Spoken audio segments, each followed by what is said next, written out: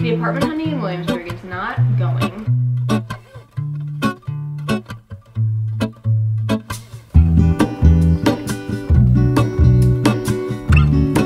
Rental downpour check. There is a life I lead in this city. Hurrying to cup my Good morning. Friday. I have the day off from work today, so I figured I would start a little weekend in my life vlog. I have some fun plans this weekend, so I just figured I would take you guys along for everything that I'm doing. Nothing too crazy, but we're getting out and about, you know what I mean? Did I mention I'm off from work today? I'm literally so tired I can't even remember what I just said.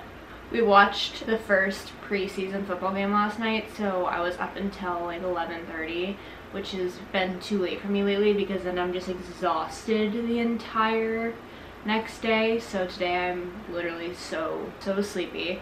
But at least I have like the day off from work so I can kind of just lounge around and hang out and I don't have like really any responsibilities today. Also the coffee helped. She's good this morning. Yeah, I've spent the morning cleaning up my apartment a little bit. I slept in until like 9.30, which isn't really sleeping in, but my body really doesn't sleep past that time nowadays. Like 9.30 is the latest I'll sleep in, which is, it is what it is. So I slept in a little bit. I picked up my apartment. I still need to do a little bit more picking up because it's kind of chaotic in here. Made a coffee. I've been watching Love Island UK. The new episode dropped last night and I was also doing my morning StreetEasy apartment hunting situation. The apartment hunting in Williamsburg is not going like at all because I we just cannot seem to find an apartment in our date range yet and we're about a month and a half out from moving which is very frustrating and terrifying and like makes me so anxious. I just want to have something signed. I want to know where I'm moving, when I'm moving. So every single morning I get up and I immediately browse to StreetEasy to see if there's any new apartments that open up in Williamsburg. I browse through all the saved apartments that I have on our list that we're looking at for units. I like, call people and it, I'm just like not having good luck with the Williamsburg search because either people don't answer my phone call, they don't answer my StreetEasy request, or there just haven't been units available in an apartment building in like literally months so that's how that's going it's not a good way to start out the morning i know but i just feel like if i don't wake up and immediately do that i'm gonna miss the opportunity to see like a really good building if one pops up so that's how my brain is wired nowadays. So i did that gave me anxiety now i'm sitting here giving myself more anxiety with coffee but here we are. Just wanted to pick up the camera say good morning. Welcome back to the channel. If you're new and you're not subscribed make sure you subscribe down below also go ahead and follow my instagram because whenever i'm not vlogging i'm posting like stories on instagram. I've been a lot better about doing that recently because i've actually been having fun with it. So make sure you follow my instagram to keep up with like behind the scenes content and stuff like that that you wouldn't see in the vlog. You're my best friend here. If the other day generally is going to continue this way,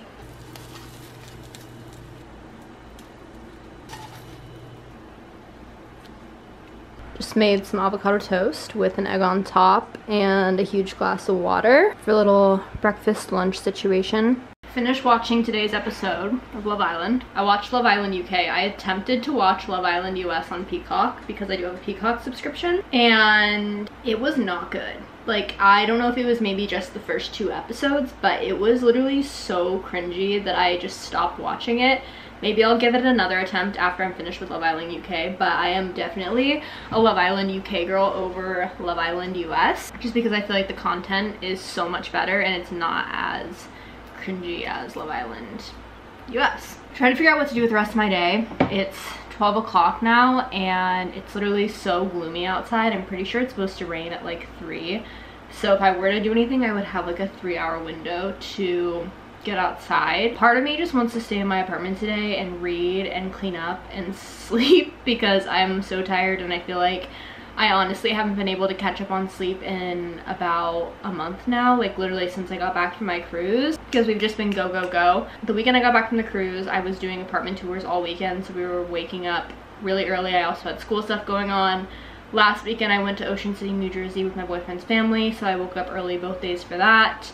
And then this weekend is the only weekend that I literally don't have anything planned around. I'm not going anywhere for the first time in a while. So part of me just wants to like take this weekend to relax and kind of like recharge my social battery and just recharge my battery in general because she's on empty but also I feel like I want to like get outside and explore New York because I haven't been here in a while and I like want to go to Central Park and do all these things so I'm currently having an internal debate on what I should do with the rest of my day I do have Saturday and Sunday also so if I wanted to take today to rest and clean up and do whatever I want to do I could do that and then go out and about on Saturday and Sunday. But I just feel like I am wasting my time by just sitting in my apartment because I sit in my apartment all week. Does that make sense? Or does that not make any sense? I'm going to give myself some more energy by eating because this is the first time I've eaten today.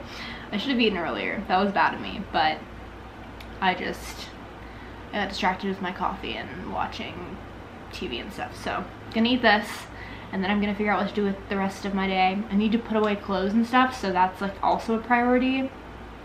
We shall see. I didn't record any of it, but I just impromptu cleaned out this cabinet. You really can't tell a difference, but there was just a lot of random stuff that had been shoved in here that had collected up over time, and since I'm moving soon, I am in full-on clean out mode. I just like threw a bunch of stuff away in here and I'm donating a lot of clothes as well so I literally just have like piles of stuff everywhere which is why it kind of looks like a mess. Getting ready to head out for a little bit to go on a little walk just to get out of my apartment, try to wake myself up a little bit. Little outfit of the day. I'm wearing an oversized t-shirt. This has been my go-to style lately, biker shorts and an oversized t-shirt. I'm just obsessed with the look. I think it's kind of like effortless and I'm a big fan of it. So I've been investing in a lot of like cool, trendy, oversized tees. Obviously, this one I got in Bermuda, but I still thought it was kind of cool because it had like a vintagey look to it. Then I'm using my Brooklyn and tote bag because I need to drop off Poshmark packages, my Nike shoes, Lululemon biker shorts, and Amazon sunglasses because I'm obsessed with them and they're the only sunglasses that actually like look good on my face and they're affordable and they're easily replaceable if they break so big fan of them.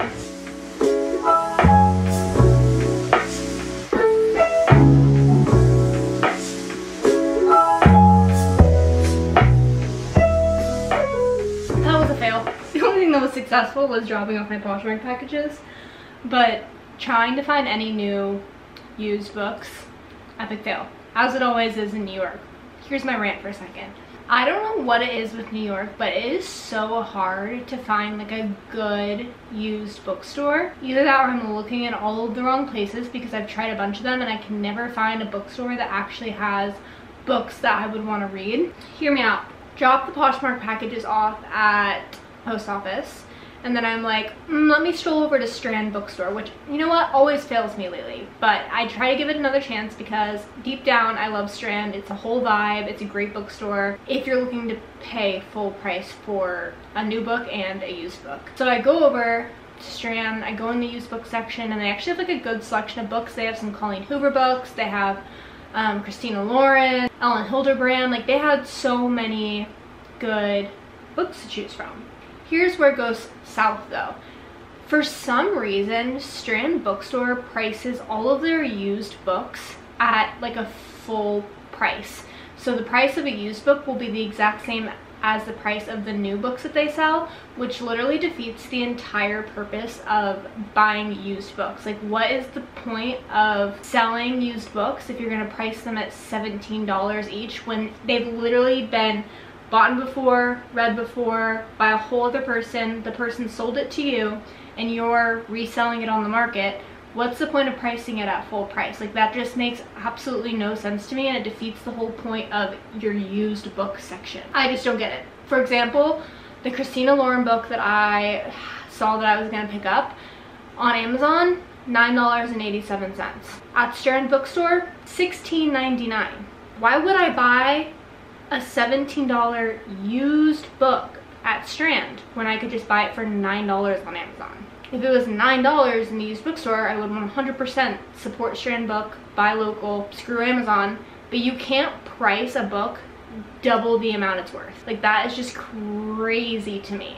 I'm done shopping at Strand unless I want to go buy like a brand new book and spend $20 on it because they are overpricing their books and it's actual insanity, like actually insane. Next used bookstore that I stopped by because it was on my way back to the East Village anyways is called the East Village Bookstore. It's on St. Mark's and it's like a very cute used bookstore exactly what you would picture a used bookstore to be like a little like rundown vibes they had like a tiny air conditioner in the back they actually had like a good selection of books they had Elin Hilderbrand, they had mystery thriller books that I had been looking for, they had Colleen Hoover, they had just so many different options to choose from. And here's where it goes wrong again. I'm finding all these books, I'm picking them up, I have a stack of them, and then I see a sign that says cash only. And I'm like, you've got to be kidding me because normally I do carry around at least like $20 in cash.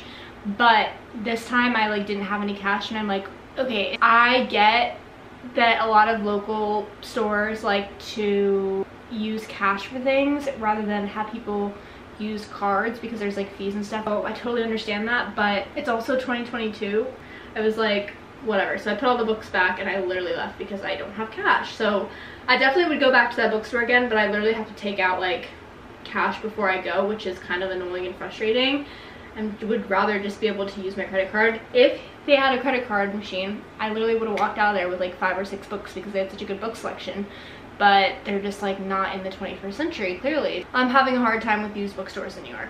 Basically, moral of the story, end of the rant. If anyone lives in New York and has good bookstore, used bookstore recommendations that actually have fair prices for used books and aren't just cash only, please let me know because I will literally go out of my way to go to this bookstore to get like used books and support local but the ones near me just like aren't doing it and aren't cutting it for me so comment down below if you know a good used bookstore that doesn't charge twice the amount for a used book and is in the 21st century. Currently reading the second book in the A Court of Thorns and Roses series. This one is A Court of Mist and Fury. I've heard that this is the best book out of all of the books in the series, so I'm very excited to like get into it. I'm only about 70 pages in and it's pretty good so far, but I feel like it's to pick up soon because that's how the first book did. It took a while to get into it. Current read. Getting ready for dinner. I'm wearing these khaki shorts from Princess Polly and this top from Princess Polly. I honestly debated giving this away because it's kind of short, but I feel like paired with the right outfit, it's not too bad because these are pretty high-waisted. So this is the outfit of the night. I look like I'm a little explorer. I'm putting on some makeup. I think that I'm just to do brow gel. And that is literally it because I cannot be bothered with makeup nowadays. Also to do a little hairspray moment because got some major flyaways. Alright, and that's the look for tonight. Slick back pony, urban explorer outfit, and then I'm probably gonna wear Air Force Ones. She's basic tonight, but it's also literally so hot outside, we're legitimately in the middle of a heat wave. So I feel like if I decided to wear any more clothes than what I'm already wearing, to dinner, I would literally sweat my butt off at dinner. And that is not the vibe for this dinner. It really isn't.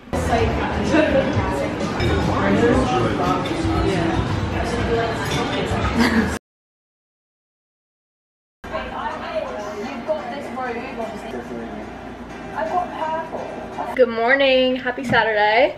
I've had another slow morning in the books, which we're not mad about, but I am getting ready to head off to Pilates, so I figured I'd pick up the vlog and say good morning. Spent the morning watching Love Island, obviously, had coffee, obviously. Picked up the apartment a little bit. Basically the same thing I do every single morning. And now, like I said, I'm getting ready to head out to Pilates. I'm doing a solid core class in Nolita. I'm doing it with a friend from college. So I'm very excited for that. We're probably gonna get like a little juice or coffee after too and just have a little hangout session because I haven't seen her in a while, so I'm excited to see her. And we love a good solid core class. I literally just did one on Thursday and I'm still sore from it. So this Saturday afternoon class is going to, it's gonna hurt me. Like I'm already anticipating the fact that I'm not gonna be able to walk. And I also have another class on Monday with another friend at a different location. So I'm just like three solid core classes back to back with only a day in between. I did myself dirty. I really did. Hopefully it'll help me somewhere along the way and not hurt me because right now I'm in pain but I feel like in the long run it'll benefit me. So we're doing that today and then after the solid core class I'm not sure what I'm gonna get up to I do have a little birthday pregame that I'm going to tonight for a friend, but I don't think I'm gonna go out. I think I'm just gonna stop by for a little bit, say happy birthday, drop off a bottle of wine, and then have another chill evening in. I haven't really been in the mood to go out lately to like bars or anything. I just am in my chill era. I would rather just stay home and watch a movie and be antisocial to be completely honest. I guess it's not antisocial if my boyfriend's here with me, but it's still antisocial because I see him all the time anyways, so that's just like the phase of life that I'm in where I would rather just stay home and play the Switch or watch a movie or do something that doesn't involve drinking. So, loose plans for the day, but taking you guys along with me. Just wanted to pick up the camera, say good morning again. It is a lot later from the last time I picked up the vlog, and I am honestly very tired, but it's just been such a good day like mentally very healthy socially healthy went to solid core earlier like i mentioned i went to the Nolita location for the first time and first of all the solid core Nolita location is massive. It's like 10 times bigger than the Nomad location and the East Village location. There's like two rows of reformers rather than just one. So that was crazy. Such a good class. I took it with the same person that I've been taking it from recently and he's just like such a good instructor. I like the way that he teaches the class and the way that he demonstrates and the way that he explains the exercises. Because if you've ever been to solid core you know that it can be kind of overwhelming because the instructors are speaking so fast and nine times out of ten you can't catch what they're actually saying. But he's really good about explaining himself which is what I appreciate since I'm still kind of new to solid core and then after solid core my friend and I we went to brunch lunch I don't really know what you would call it at Grey Dog. It's right across from Ruby's. Ruby's, the wait for two people was like an hour and a half to two hours. So we just decided to nix that plan and go somewhere that we just stumbled across and it actually was really good. So big fan of that. Then I just came back here, took a cold shower because it is so hot in the city that by the time I walked back to my apartment, I literally wanted nothing more than to take a cool shower and to crawl to bed.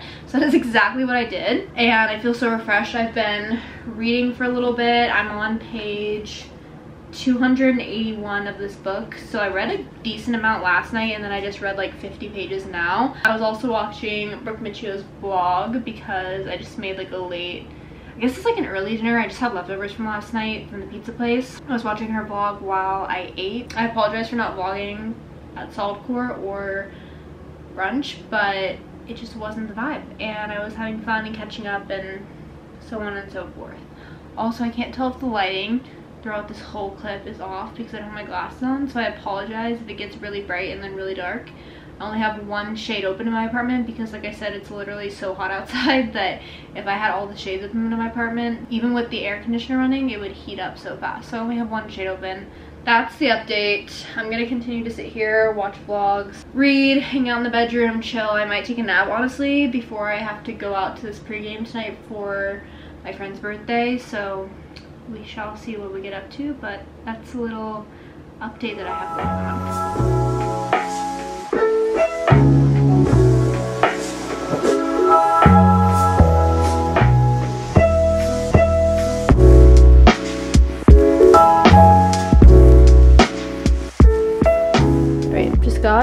dressed for the night. We're wearing jean shorts, strapless top, gold jewelry, very simple.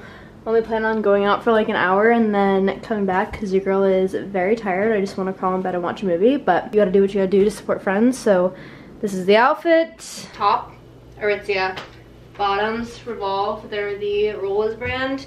They're literally the only shorts that I ever wear. I need to buy another pair of them, but also summer's almost over, so not worth spending the money on now, honestly. Then we're drinking one singular White Claw tonight, maybe two. One for now, one at the pregame.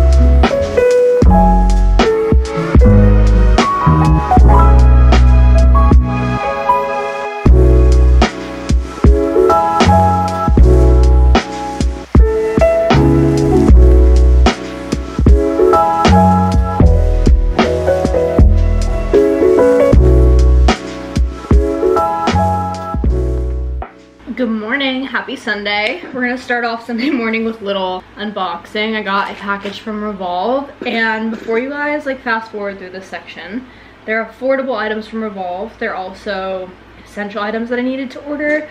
I know Revolve has started to recently, within the last few months, get a bad rep because influencers and people that share like Revolve unboxings tend to get clothing items or just items in general from Revolve that are like hundreds and hundreds and hundreds of dollars. But for me personally, that's like not how I use Revolve and I tend to lean more towards the affordable items on Revolve. I don't think I've ever purchased anything from Revolve that's been over $100. Before you guys fast forward through the section, these items are affordable. They're on my Revolve favorites, which is linked in the description. If you guys also want to see other affordable Revolve clothing items, makeup items, hair items, whatever, that's all under my Revolve favorites. Like I said, linked in the description of this video, so go check that out. Because Revolve, believe it or not, does have a good selection of affordable items. I feel like the only items that are ever shown though are the very expensive ones. So just letting you guys know, they do sell affordable items as well. For some reason, influencers decide to show like the $500 dresses and stuff like that, which is just not realistic, is it? The first thing that I got from Revolve is I had to buy some more shampoo. I use R & Co shampoo. I have for literally years. It's the television type. They have different types of the shampoo, but I use television. I use the television conditioner as well, but I was only out of the shampoo. And then I bought some new pajama shorts because I've been running through my pajama shorts like it's nobody's business lately. I haven't been willing to wear like my long pajama pants because it's, there's a bug on my window.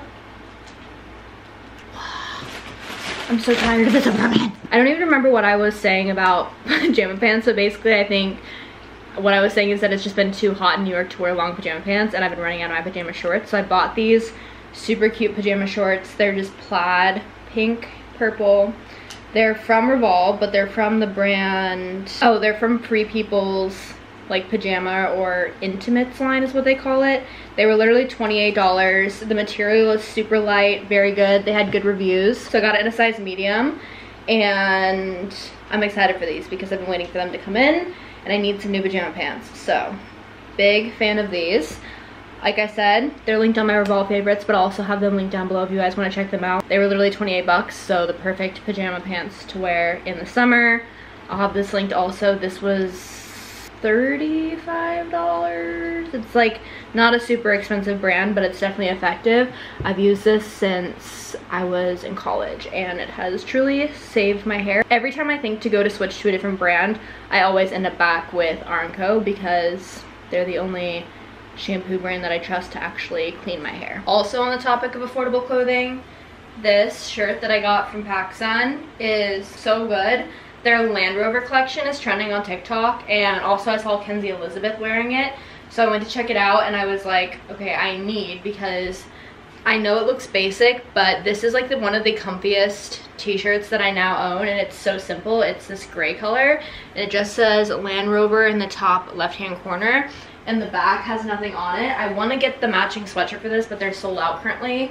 But I got this in a medium, I think. Have the size linked down below, but I'm pretty sure it was like 28 bucks from PacSun. It came quickly.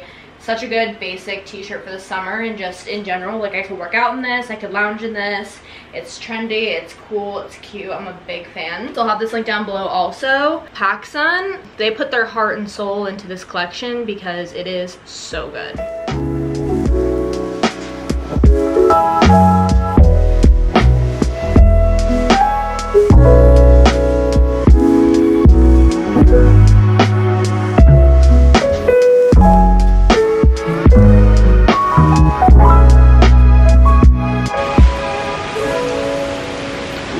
Downpour check. I don't even know if you can hear me. Oh, now you definitely can. It is literally raining so hard. This is crazy. We came to Greenpoint to explore and it literally started downpouring on us. And now we're hiding under this thing, scaffolding. But the scaffolding is currently flooding. And we have one dry patch of land. Update is literally starting to flood and it's pouring. We look so dumb right now. May want to check around the corner and see if it's of the bad with Okay.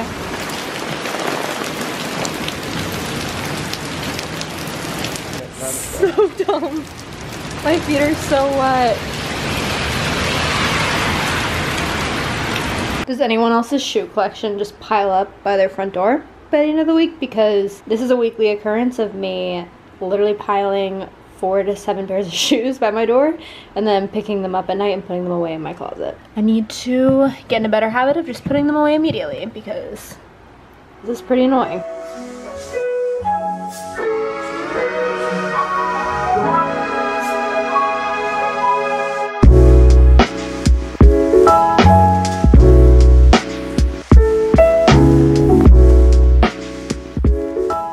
Okay, I think you can kind of see me. I know that's annoying, but it's gonna be, we're gonna make this quick. What a day it has been. Started out this morning with schoolwork, like I mentioned, and then I went over to Williamsburg and hung out for a little bit. We decided that we were going to try to explore Greenpoint, which is kind of like another suburb of Brooklyn. It's next to Williamsburg, just like more towards Long Island City. And I've only ever been over there once or twice, but I think at this point it's definitely an option for us to move there, potentially, kind of, sort of.